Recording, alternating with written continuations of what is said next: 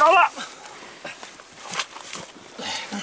120 büyükbaş hayvan sazlıklarda çamura saplandı. İki hayvan telef oldu. Köylülerse çaresiz hayvanların yardımına koştu.